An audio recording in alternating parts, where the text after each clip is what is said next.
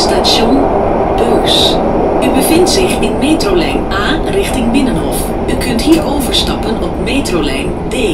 Station Beurs.